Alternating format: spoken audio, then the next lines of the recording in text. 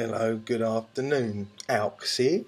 Um, just come off a 2 0 victory against a top ranked team in the Pep Zebra. Very pleased, very satisfied. Though the performance wasn't great, I think tactically we got it spot on. We knew that there'd be, you know, we knew that they're a quality side. Like I said, they're the top ranked team.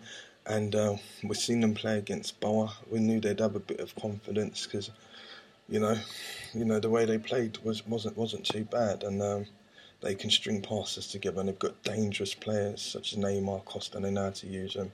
So I think we got it right. We played our tallest players at the back, most physical, um, Koulibaly and uh, Chiellini, and uh, we went for a counter-attacking game because we know we knew that we'd have to be as dangerous as them without too much fuss if we start you know, trying to be too fancy, we'd just get banged. Knew it, so we didn't opt for that that option, and it well, it paid off. It was a bit bit of luck involved. We rode, we rode our luck a little bit, you know, because unfortunately the lag on uh on uh, 2017 PES is, is is kind of spoiling games, and there was a bit of lag in there.